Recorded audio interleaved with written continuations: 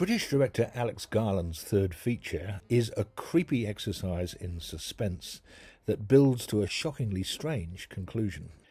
The story centres on a woman called Harper, played by the excellent Jessie Buckley. All the key male roles in the film, apart from that of James, are played by Rory Kinnear under various layers of makeup. He plays eight characters in all, and they're all entirely different. An impressive achievement. Even when elements of the narrative are obscure, the film works wonderfully well as an exercise in creepy suspense. It's very daring and very original. I'm giving Men four stars.